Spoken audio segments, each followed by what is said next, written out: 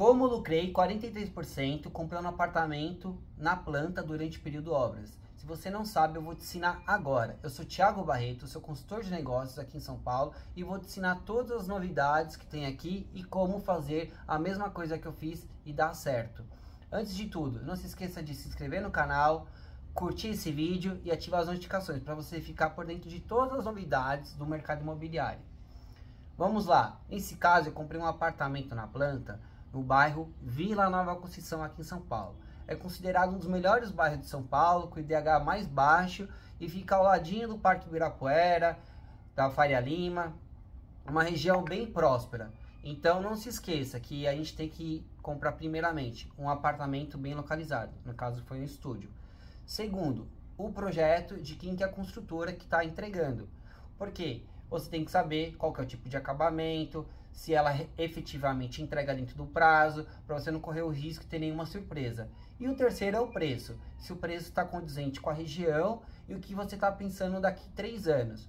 Por quê? Imóvel não é uma coisa que você compra imediato, é uma coisa planejada. Isso aqui é um tipo de diversificação de investimento, é uma forma de você estar tá tendo um retorno, além de ações, além de fundos. Isso aqui você está pegando o seu patrimônio, está transferindo para um terceiro. Então a gente tem que tomar todos os cuidados.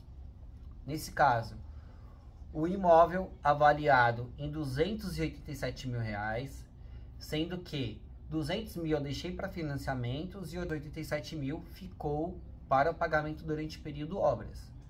Isso foi em novembro de 21. Hoje estamos em janeiro de 24. Esse valor foi corrigido, o meu saldo devedor. Hoje o apartamento que estava 287 mil, hoje ele está avaliado em 318 mil só que se eu fosse fazer uma venda, uma revenda no mercado hoje, ele está avaliado em 450 mil. Só aí é o meu ganho de capital, que seria mais ou menos 43% de um apartamento na planta. Agora imagina na hora que eu for deixar ele decorado, deixar ele mobiliado. Como vocês podem ver aqui do lado, a gente está falando de um apartamento mais ou menos de 630 mil. Sendo que, até o momento, eu investi mais ou menos 110 mil reais né? E outra coisa que a gente tem que levar em consideração, a minha ideia não é vender, e sim fazer o famoso Airbnb, fazer a, a parte do pool, né, que é a curta estadia. Hoje a região está mais ou menos de 300 a 400 reais. Então assim, a gente está falando de um lucro mobiliário de 43%, além de uma renda passiva acima de 2%. Porque se a gente for levar em consideração que o imóvel, hoje, eu investi 300 mil reais. E se eu alugar o apartamento numa média de 300 reais por 20 dias, eu vou fazer 6 mil reais.